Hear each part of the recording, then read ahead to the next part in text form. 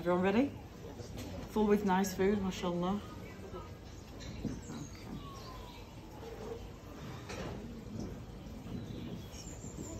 أعوذ بالله من الشيطان الرجيم بسم الله الرحمن الرحيم الحمد لله رب العالمين الصلاة والسلام على رسول الله صلى الله عليه وسلم Assalamu alaikum wa rahmatullahi wa barakatuh, my dear brothers and sisters. MashaAllah. We, we're family now, right? MashaAllah. Feel, we feel like a family. It's very nice. Now we're going to be talking about the love of Allah subhanahu wa ta'ala. The love of Allah subhanahu wa ta'ala is completely unique and it's something that we are seeking as Muslims. We are seeking the love of Allah subhanahu wa ta'ala, seeking the love of our Lord. Allah subhanahu wa ta'ala, one of his names is Al-Wadud. Al-Wadud, which means, it's, all, it's actually, it's often translated as meaning the most loving. Or the one that loves. But actually, I guess a more correct explanation is the one who is affectionate. Now, why did Allah subhanahu wa ta'ala, instead of calling himself the one who loves, calls himself the one who is Al-Wadud. Al-Wadud, one of the foundation words of Al-Wadud is comes from Wid. Wid means affection. It's affectionate. It's a, something that we do. When you want to show your love for somebody, you don't just feel this love. You have to put that love into action, right?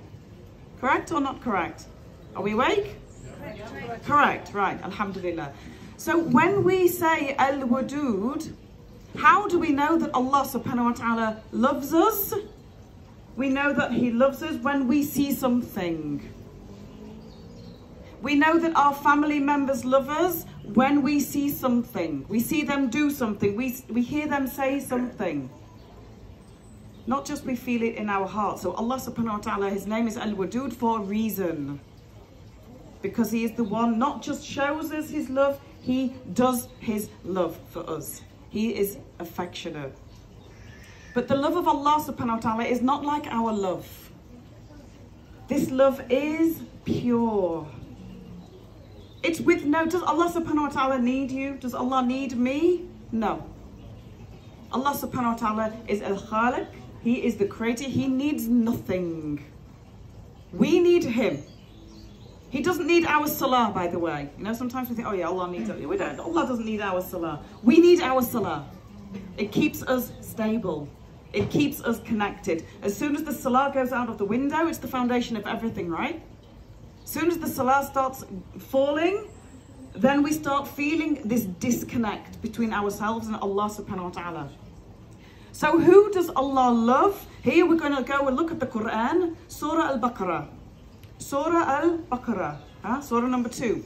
Allah subhanahu wa ta'ala says, Inna Allah yuhibbu at-tawwabin. Number one, criteria number one is the ones who do tawbah. Tawbah means repentance, right? And then, mashallah, you guys are shuyukh scholars, mashallah. Mashallah. So the ones who do tawbah is one category of people that Allah subhanahu wa ta'ala loves. See, these are things that we can do to get the love of Allah subhanahu wa ta'ala. Category number two, how do we get Allah's love? The ones who are al-mutatahhirin. The ones who purify themselves. There are different types. If anyone has done fiqh on alima course, on alim course, you will know the fiqh of tahara, right? The fiqh of cleanliness. The tahara that we're talking about here in the Quran is the cleanliness of the heart and the connection with Allah subhanahu wa ta'ala, but also the physical cleanliness. Do you think Allah subhanahu wa ta'ala needs our wudu and our ghusl? No.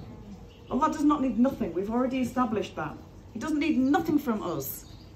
The wudu is for us to show Allah subhanahu wa ta'ala, I'm ready to talk to you now. I'm ready to connect with you now. I'm physically ready. I'm heart ready. If wudu and ghusl were about something to do with a physical cleanliness, we would not be able to do wudu and ghusl with turab. we would not be able to do wudu and ghusl with dust or sand or placing our hands on the brick. So it's about the spiritual readiness and Allah subhanahu wa ta'ala loves those who purify their hearts. You can make as many wudus as you, as you like, as many ghusls as you like, but if your heart is corrupt, you will never be pure. It starts from here.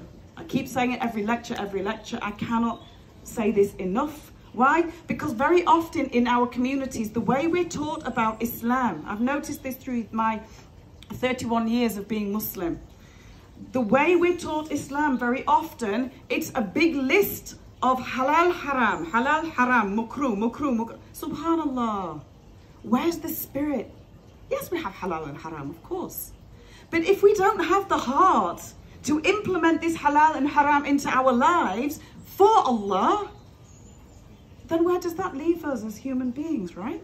Where does that leave us? So start with here and save the discussions and the and the fiqh and the different madhabs and all the rest of it. Because on Yom Qiyamah, it's not going to matter. Subhanallah. Number three, Allah subhanahu wa ta'ala loves al-muttaqeen, the ones who are righteous. Muttaqeen, the word taqwa, the ones who have God consciousness, the ones who are aware of Allah subhanahu wa ta'ala. So there are different ways of linking with Allah, of getting the love of Allah subhanahu wa ta'ala. We talked about Wallahu sabirin. Allah loves the one who has sabr. What did we say about sabr? Can anyone remember? Just give me some points. What, what are the different types of sabr? Anyone remember? I'm going to give you guys homework next time, huh? Shukr and sabr go together. Yeah. Shukr and sabr are together. Very often in the Quran, Allah subhanahu wa ta'ala presents us with both. What else about sabr? Come on, brothers. We sleeping? Huh?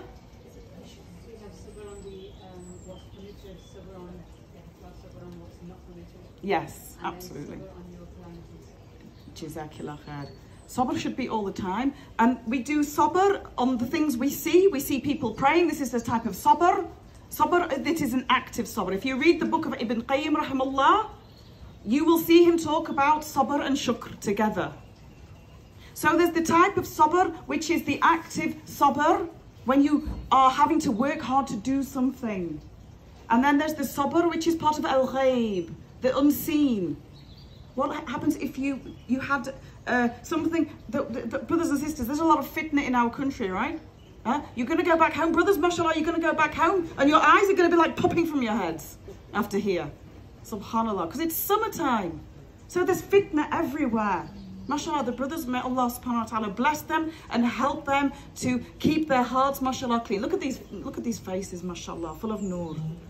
It's hard for our brothers, sisters, yeah? Very hard for them. So this type of sabr, do we know when a brother or a sister has had a fight to lower their gaze when they've seen a fitna? No, because it's unseen. It's a fight that happened inside. Subhanallah. May Allah subhanahu wa ta'ala make it easy for us and accept our efforts. And my dear brothers and sisters, you know when you're making that effort, and this is part of being a sabirin, you're making the effort and you're making the effort again and you fall and you make it again and you fall and you do toba and you get up and you make it again and you fall and you do toba and you get up. It might be the same cycle again and again and again and again. And what? Do you know something, my dear brothers and sisters? You're doing jihad and nafs.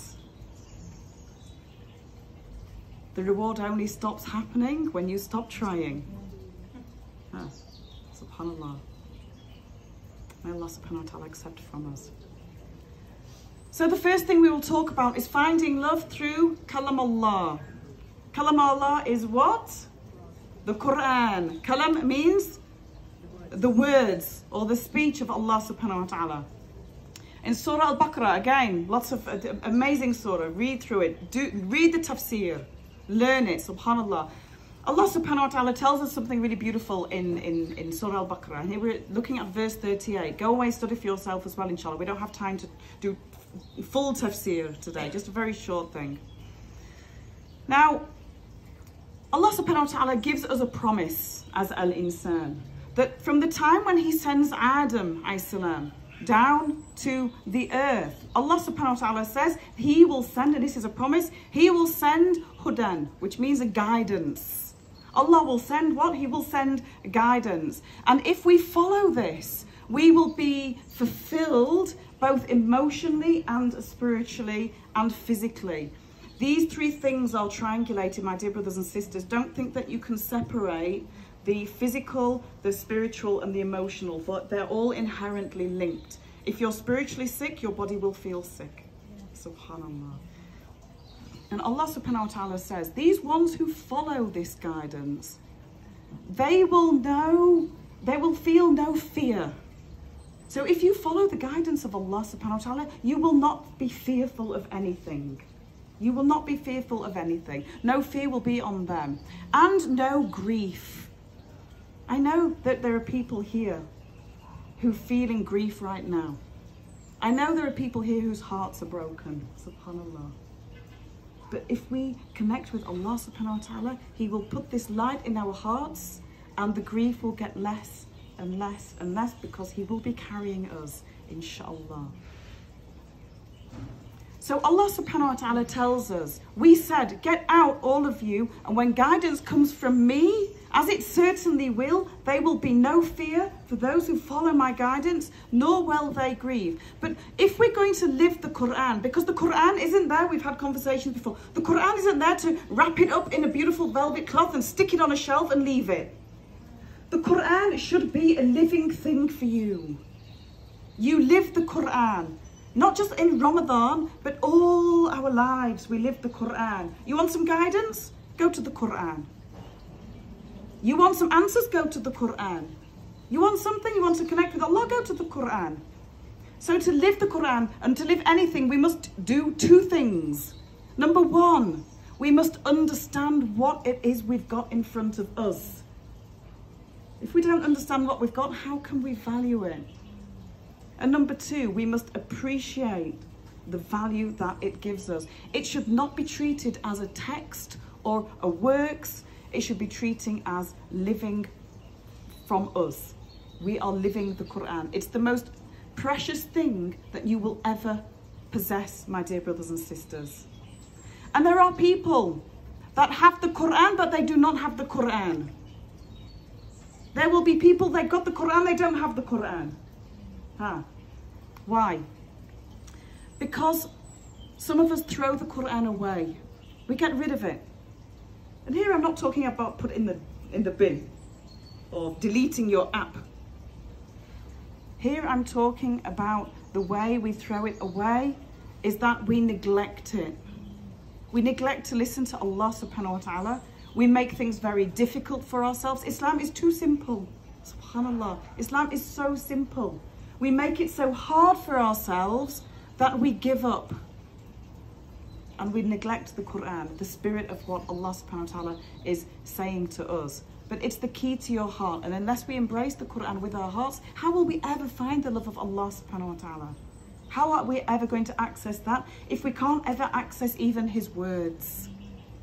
We bring up our children and we send them to the madrasa and we they teach they learn the Quran, mashallah, mashallah, amazing. And then you ask them, yeah, bint, yeah, walad, what does this mean? Nothing. They don't understand a word of it. How can you understand the spirit of something if you don't even understand what it's saying to you? No translation, no nothing. Subhanallah. We have to instill the love of Allah subhanahu wa ta'ala into our hearts and into our children's hearts. And then we're going to see change in our communities.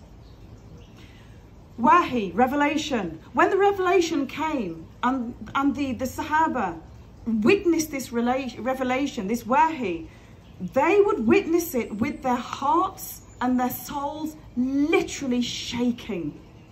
They would shake from the revelation. Imagine this. When we hear the Quran, when we've been to the masjid here in Al-Aqsa, may Allah subhanahu wa ta'ala accept, when we've heard Allah's words, are our hearts shaking? Are we really taking in what we're hearing? Or just we like, subhanAllah, it sounds really nice. But actually, is my heart shaking? Are tears coming from my eyes when I hear this word of Allah subhanahu wa ta'ala. This is the word of your creator, my dear brothers and sisters. What happened to us and our hearts and our minds shaking from this? Allah subhanahu wa ta'ala explains about the Quran in itself. From a fiqh perspective, this is called tafsir al-Quran bil-Quran. This is the tafsir, the explanation of the Quran from within the Quran itself. There are different types of tafsir. We have the tafsir of the Quran from the hadiths and many other different types. We don't have time to cover this today. So we're looking inside for the, in the Quran for what it is actually offering us. Allah subhanahu wa ta'ala describes it. Al-Kitab bil-Haq. Al-Kitab bil-Haq. The book of Al-Haq, the truth. Huh? When I first became Muslim, somebody came, well, before actually, when I was first introduced to Islam, this sister came to me and she said to me, this is the Quran. I asked, what is this book? This is the Quran. She said, it's the book of truth. What did I say to her? Prove it. That was my reaction. If somebody who's not Muslim yet, because every non-Muslim is a not Muslim yet, if somebody who's not Muslim yet comes to you, my brothers and sisters, and says to you, prove that the Quran's the truth, or why are you Muslim? Can you answer them? Or is it just because my parents were Muslim, or because I was brought up Muslim, or I went to school Muslim? Can you answer that to these potential brothers and sisters? Because if you can't even answer to yourself why you are Muslim and why you love Allah subhanahu wa ta'ala, how can you answer to other people? Subhanallah. Allah subhanahu wa ta'ala here describes, Verily this Quran guides to that which is the most just and correct and gives good news to those who believe and those who do righteous deeds and they will have a great reward. Okay, let's chop this up a bit and, and look at it in a little bit more detail, inshallah. So first of all, verily this Quran leads to the, the path that is the most right or the most straight. In, in Arabic, this is aqwamu. Aqwamu, it, could, uh, it can mean upright, it can mean straight. It has many different meanings. The ulama, it's very difficult to explain this in English. Aqwamu, when somebody is, imagine if somebody is standing upright, but they're very strong standing upright. You can never move this. It's a strength. This is how Allah subhanahu wa ta'ala describes the Quran, aqwamu. And then he says, and let's think about this, وَيُبَشِّرُ الْمُؤْمِنِينَ and gives good news to al-mu'mineen, to the believers. Now, this good news, brothers and sisters, is not for every single believer. And who is this good news for? الَّذِينَ ya'maluna salihati. Oh man. Salihati is what? Good deeds. MashaAllah. So it's not just al-mu'minina everybody. It is al-mu'minina alladhina ya'maluna salihati. It's the ones who do righteous deeds. So you can't just believe and bas. That's it. Forget it. I believe. It's enough. Because some of us, we think like this. Just like when you have hub, love in your heart, without wid, without applying that love, how will your loved ones know that you love them? Oh, you who believe, you need to do righteous deeds. You need to put that belief, put your words into action. Huh? Not just, I'm this, I'm that. No, just do it. Keep quiet. Crack on as we say in Yorkshire. So, we've got two things so far. We've got good news for who? For who? Who is the good news for? Come on, guys. For the believers, right? And who do what? Righteous deeds. Okay, I want you to take this in this way and we'll make it a little bit interactive, inshallah. Alladhina ya'maluna salihati. And what do they get? Ajran kabira. Subhanallah. Ajran kabira. Kabira is a big ajr, a big reward, a huge reward from Allah subhanahu wa ta'ala. It's really simple, brothers and sisters. Believe, do the right thing, and you're going to get Jannah, inshallah. It's simple. Don't make it messy. Subhanallah. How do people lose the Quran? Don't leave it on our shelves. Don't have your phone app and just get it out wherever. The way to lose the Quran is to neglect it, to leave it alone. Do not even attempt to live it, to not use its words, to use its messages incorrectly. How many times have we come across the haram police? Huh? Their main aim is, in life is to try and make everybody else feel terrible about themselves by going and judging everybody else and using the words of Allah subhanahu wa ta'ala to make people feel negative. Subhanallah. If we want to follow the way of Rasulullah sallallahu alayhi wasallam, he was never doing the haram police thing, ever. Always Islam should be taught in the most beautiful way. Why? Because Islam is not about this, it's about the heart, my dear brothers and sisters. It's about changing hearts. People don't become Muslim through the changing of the mind or the forcing. There have to be two ingredients to this. Huh? And the ingredients, sister, you know what the ingredients are. Come on, what the, what the ingredients when someone becomes Muslim? You remember? So I've, I've, picked on you now, huh? What number one is the ilm, knowledge, and number two, iman. Number one, knowledge, a little bit, even it's a little bit, and number two, iman. Everybody is potentially a Muslim, but you have to have those two things. They're coming together, inshallah. And this is from Allah subhanahu wa ta'ala. Allah subhanahu wa ta'ala tells us it's kitaba bil haqq of the truth. And the miracles of the Quran are a door to engage with this truth. We live in a time of science, my dear brothers and sisters, huh? So when we're thinking the way we've been brought up, and I think pretty much everybody here is from the UK, right? We've all been through the UK school system. We've been taught about science. We've been taught about all these things. We have it all in the Quran. Huh? We have it all within the Quran.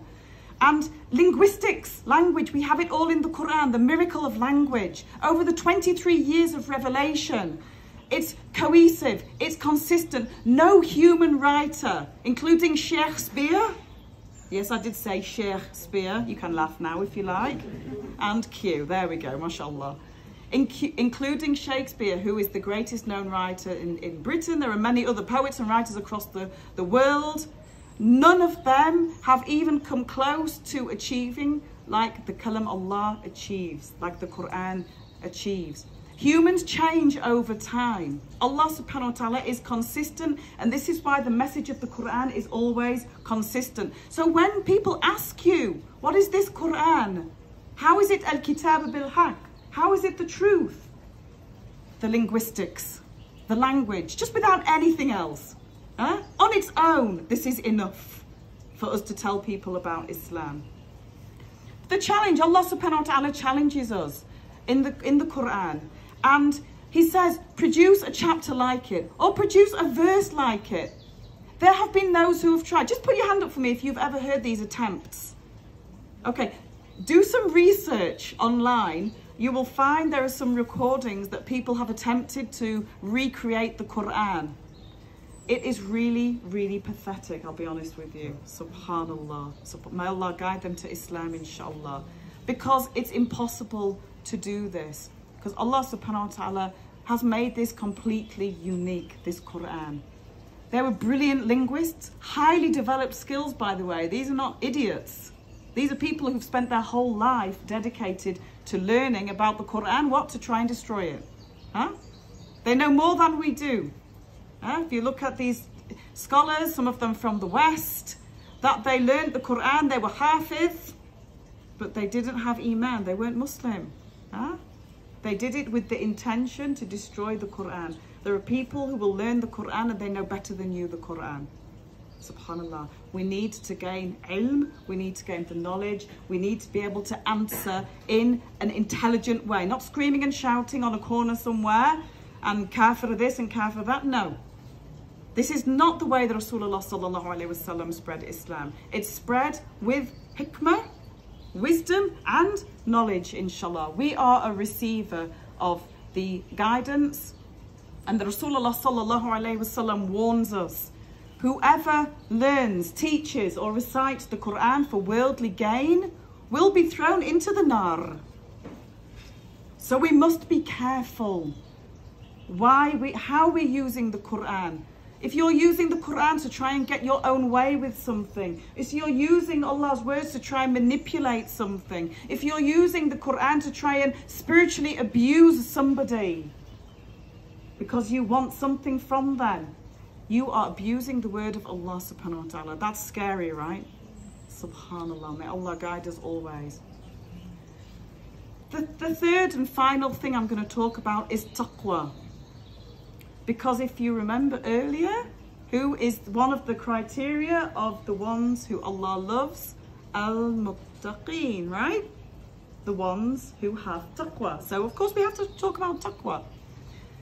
Do you find sometimes that you can't fear Allah subhanahu wa ta'ala no matter how much you want to? Like many people will come to me, they say, I, I just, I, I, I really love Allah, but I'm really finding it hard to connect. I'm finding it hard to fear Allah subhanahu wa ta'ala. What do I do? Is this a symptom of my low iman? Like, what's wrong with me? And sometimes we feel guilty because we're not fearing Allah subhanahu wa ta'ala. Am I a bad Muslim because I'm not shedding tears with fear of Allah subhanahu wa ta'ala? I think all of us, maybe we go through these thought processes. We don't like to admit it. But it's part of being a human being that we think this sometimes. But there are different types of fear. There is healthy fear and there is unhealthy fear. Yeah? There is preparatory fear. There is a subsequent fear. So a fear after something has happened. And there is productive fear. To have uh, or to be of a muttaqeen, to have this type of taqwa, we have to have a productive type of fear. So what does that look like? The Rasulullah sallallahu alayhi wasallam said, have taqwa of Allah wherever you may be and follow up a bad deed with a good deed, which will wipe it out and behave well towards the people. We see ingredients here. Rasulullah sallallahu alayhi wasallam gave you ingredients. Know, we talked about the cake yesterday, huh? Now you're all hungry, huh? No, you're not, you just had dinner. we have ingredients. Number one, when you did something wrong, follow it with something good because then you'll get extra ajr and it will cover it. And then behave well. How many brothers and sisters do we see? And mashallah, mashallah, mashallah, they are in the masjid and they're praying and maybe they're even teaching about Islam, but they're harsh. And they make other people hurt and they have no adab and they have no akhlaq and they're shouting and they're cursing and subhanallah. They're just walking over the people in some way. What is taqwa? Attaqillah. Be conscious of Allah subhanahu wa ta'ala it could be fear of punishment and this is really the the lowest level of having taqwa lowest level of iman but we go through steps don't feel bad if you're on that stage it's fine alhamdulillah it's a process so we're doing good stuff, we're praying because we're fearing the Jahannam. We're fearing the punishment of Allah subhanahu wa ta'ala. This is one type of Iman. We might have fear that we haven't yet done enough to gain the love of Allah. So we keep on trying and trying. Maybe we fear that we haven't done quite enough to get that place in Jannat or Jannat al-Firdaus. What's your aim? Is it Jannah, this, or is it Jannat al-Firdaus? Tell me.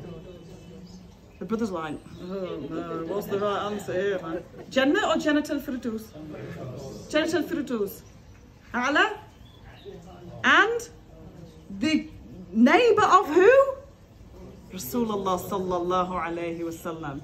This is our aim, my dear brothers and sisters. This is our aim. So fear should be productive, not like when we run away from a tiger or a lion, or we. I know some sisters, mashallah, they run away from like a mosquito. I'm kidding. Subhanallah. Some brothers run away from spiders. It's all good. Alhamdulillah. Alhamdulillah. So how do you feel when you sin? This is a really good measuring tool. Do you get this inner clutching? You know, like your heart is being squeezed. Maybe you're late for a salah. Maybe you are feeling that you're sinning and you feel bad about it even while you're doing it. Maybe you're not quite strong enough not to.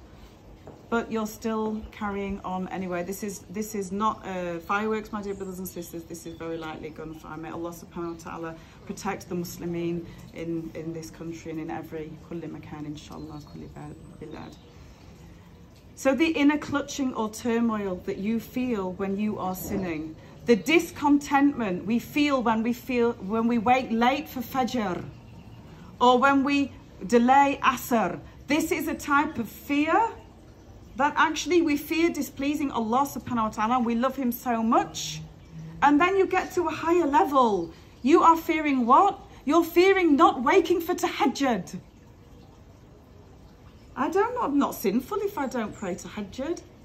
I'll tell you something amazing. My brothers and sisters, I'm, I'm going to challenge you. Wake up early tomorrow morning, inshallah. Know, mashallah, you, most of you have already been doing this. Wake up early tomorrow tomorrow morning, maybe an hour before Salat al-Fajr, for the, before the Adhan, and go to the masjid. If you can't go to the masjid, pray in your room, it's no problem, subhanAllah, but ahsan at the masjid, better at the masjid. Allah subhanahu wa ta'ala descends to the lowest heaven during the last third of every night and is there for you. We don't even turn down the, the invitations of our mothers and our fathers. Yet we sleep through the invitation of Rabbana, of Allah subhanahu wa ta'ala. And He's there, what? Not for Himself, for you. To answer your dua, to forgive you. May Allah subhanahu wa ta'ala accept. This is my challenge to you, inshallah, tomorrow morning. Even just two rak'ah, four rak'ah, and witr at the end. If you already prayed your witr, no problem but do witr after, it should be the last uh, final one of the night, inshallah. So what do you fear? And think about where your heart is in this process. The fear of losing the opportunity to do good. We pass opportunities to do good every single day. Why should we want to do good? Because we want to connect with Allah subhanahu wa ta'ala, because we want to gain His love. I'm going to talk about the love of Allah subhanahu wa ta'ala. We have, we need to have what's called Himma al-Aliyah. Himma al-Aliyah, which means a spiritual resolve or a, a high himma, a high spiritual desperation and resolve. And we absolutely want to please Allah. We want to get closer to Allah and we want to connect and we want the love of Allah subhanahu wa ta'ala. So having himma is something we should work on. And we all have different levels of himma by the way Huh? And we are aiming to improve. Surround yourself with the people of high himmah. The people who are close to Allah subhanahu wa ta'ala and they will help you to go along with them inshallah. Take these as your sahaba. Take these as your closest companions. Look at your best friend. And here I'm not talking about just the colleagues at work and stuff like this. This is something else. Who is your sahaba? Who is your closest friend? Will this person take you to Jannah? When you die, are you happy to go back to Allah subhanahu wa ta'ala in the state of your best friend? Because you're a mirror of this best friend, my dear brothers and sisters. Think of who your closest friends are. Are you like them? And are you pleased to go back to your Lord in this state. May Allah subhanahu wa ta'ala surround us with the best of people, the people who He loves and the people who will get Jannat al Firdaus and we will be with them inshallah ta'ala. Your taqwa is your journey. Your relationship with Allah subhanahu wa ta'ala is something that only you can see and only you can feel. It's hidden inside, it's al ghaib. Don't ever try to judge somebody else's taqwa. Huh? It's very easy to turn around to people and say, or you, or you have a problem with your aqidah. And you, by the way, you said, say this to someone, you're calling them kafir. Very dangerous things upon my brothers and sisters. Don't try and judge somebody else's taqwa. They might have a stronger taqwa than you, and they might be closer to Allah subhanahu wa ta'ala than you are. They might be the ones who go to Jannat al-Firdaus, inshallah, and then you, because you judged them, and you tried to take the place of Allah subhanahu wa ta'ala because he is, al, he is the judge, and he is al-adl. He is the one who is just. We're not just, we're human. We're al-insan. So leave the judging to Allah subhanahu wa ta'ala. Keep your love and your taqwa positive always. Even when we've sinned a huge sin, don't ever think that it's too much. Because it's not.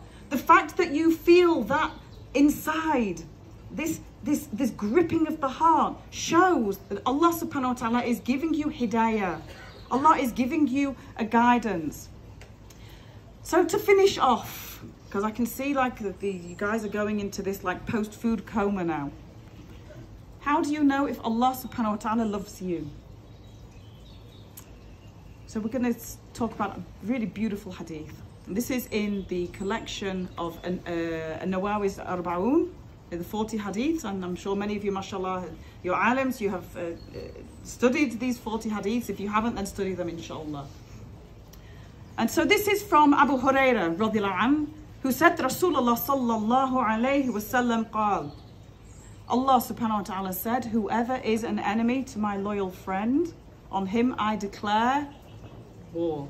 Ah, I, I expect you to be finishing this for me. My servant does not draw near to me with anything more loved by me than what I have imposed on him. So we're starting off here with the farad actions, the five times a day salah, the farad actions. Huh? But it's not just the five times a day salah that is farad. It's enjoining kindness on one another. It's enjoining kindness and beautiful behavior on our neighbors. It's making sure that we are following the guidance of Allah subhanahu wa ta'ala in the best of ways. Let's continue. And my servant, who is Allah's servant? All of you. Subhanallah. This applies to all of us. My servant continues. The word continues suggests that we keep striving and striving and striving. Why? Because we're never going to reach perfection. Don't ever think you reach perfection. None of us have, and none of us will, by the way. Anyone who comes to you and thinks that they have reached perfection, you are faced with either a liar or munafiq. Subhanallah. May Allah protect us from any of these very negative characteristics. So my servant continues to draw near to me with additional actions until I love him Look at this. And when I love him, I become his hearing with which he hears, his sight with which he sees, his hand with which he strikes, and his foot with which he walks. And the result is, if he asks something of me, I would surely give it to him. This is a promise of Allah subhanahu wa ta'ala. Sahih hadith. And if he seeks refuge with me, then I will surely grant it to him. Who is the friend of Allah subhanahu wa ta'ala? The wali or awliya. Let's look to, to Surah Yunus. And let's look to the tafsir of Ibn Kathir, rahimallah. His awliya are the people who believe and fear him. Remember we were talking about productive fear, huh? So the fear isn't runaway fear. It's a productive fear, inshallah ta'ala as their Lord describes them. So everyone who fears Allah subhanahu wa ta'ala and is mindful of him is considered to be a wali. Wali is the singular of awliya. Awliya is the plural.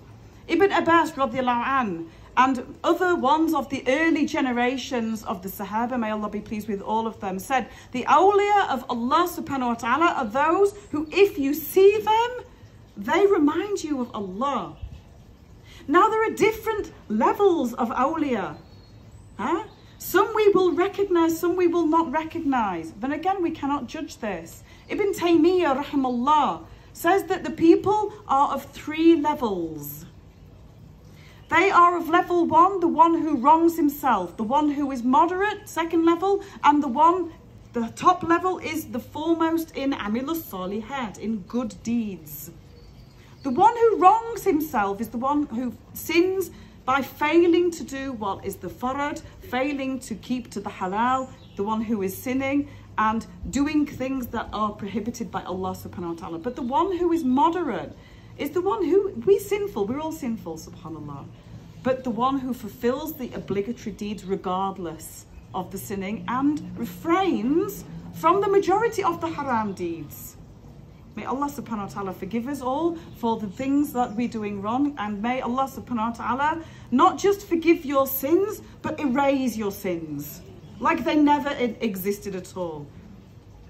The one who is foremost in doing amilus salihat, the good deeds, is the one who draws close to Allah subhanahu wa ta'ala based on this hadith by doing whatever you can of the farad and the sunnah and the nawafil, the obligatory the practice of the Rasulullah sallallahu alaihi wasallam and the extra deeds on top of that. Can you remember the lecture we had the other day? We were talking about the niyyah, the ikhlas, and that every permissible action you can turn into what? An act of ibadah. MashaAllah, you remembered, Alhamdulillah. So the hadith above mentions these two top groups. Number one, the ones who were fulfilling the farad, and number two, the ones who were fulfilling the farad and extra. And they keep striving to do the extra. So there's an, an order of establishment going on here in this hadith. We establish the farad, we establish the nawafil, but we can do that running alongside one another. But you can never replace a farad thing with a nafil thing. Huh? You can't replace the farad with the, uh, the things that are not farad. This will never replace. We should do the extra deed to fulfill the mistakes we made in our fara'id. Huh? So for example, we know on Yom Al-Qiyamah, if we've been praying some sunnah prayers and our farad prayers were not quite there, not quite good enough, because Allah subhanahu wa ta'ala can reject them, just remember that.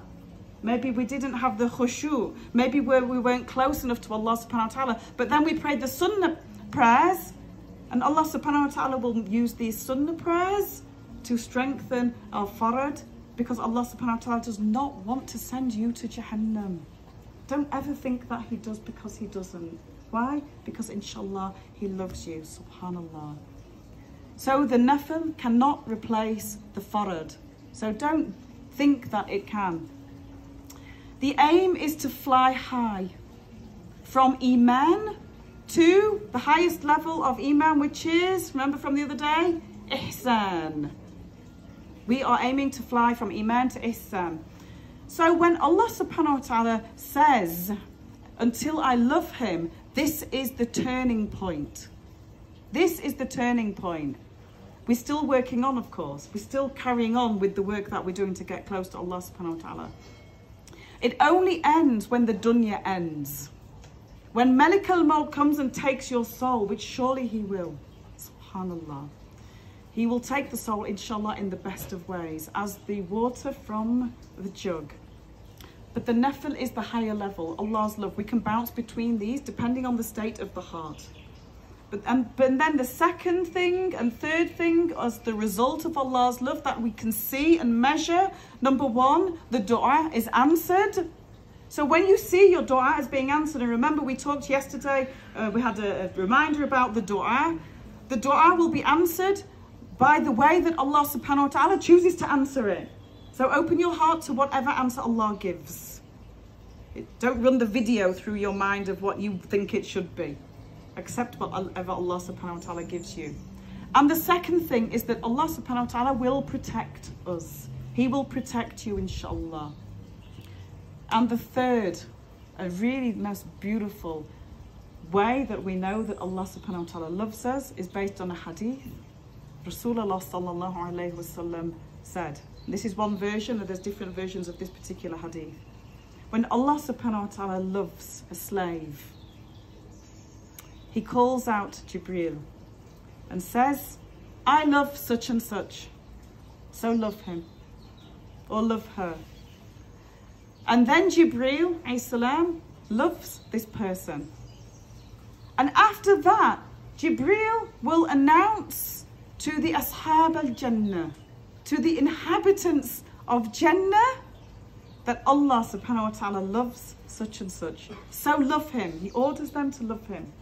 So when Allah loves you, all the Ashab al-Jannah, Ashab al-Jannah, all the Anbiya alayhim salam, all the prophets, all the, the, the Shaheeds, all the people of Jannah that are there, subhanallah, they love you. They love you when Allah subhanahu wa ta'ala loves you. But then there's something even more amazing. The way that we can measure that Allah subhanahu wa ta'ala inshallah loves us then Allah will make the people of the dunya love you as well.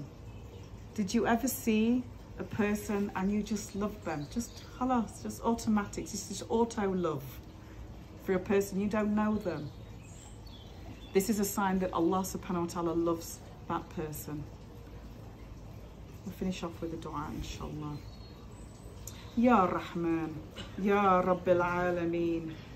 Accept our ibadah, Ya Shafi. There are those people amongst us right now who are sick, who are preparing to return to you. They're suffering with patience. Ya Rabbil Alameen. Fix their broken hearts and mend their broken bodies. Ya Rahman, you are the one who responds. We are here and we know you are listening to us and we know because of your promise that you will respond to us. We are asking you, Ya Rabbil Alameen, we are begging you, answer our dua. Ya Mujib, accept our journeys. We have come here to this blessed place for you. We are seeking you. We are seeking your face, Ya Rabbil Alameen. We are here for only you, Ya Rabb. Accept our ibadah. Accept our amilus salihat. Accept our good deeds. Make us a people who are blessed and guided. And hold our backs. And do not let us go even for a second, Ya Rabb, because without you, we will surely fall. Let us be the voices of the voiceless, of the oppressed. Ya Rabbil Alameen, you have for forbidden dhulm on yourself and on us, we beg you. Guide and free the people of this blessed land. Land, change or remove their oppressors as you have changed and removed oppressors throughout history. Ya Wadud, make us from those who you love. You are the only one who can forgive us, ah, Ya Rahim. We are asking you in all your names, erase our sins, erase the sins of our, your people, wash them away. We are sinners, we are not perfect. You are perfect and you will surely change our condition. Subhanaka Allahumma wa bihamdika ashhadu an la ilaha anta astaghfiruka wa atubu ilayk. Subhana rabbika rabbil izzati amma yasifun. Wassalamun ala al-mursaleen walhamdulillahi rabbil alameen. جزاكم الله خير والسلام عليكم ورحمة الله وبركاته.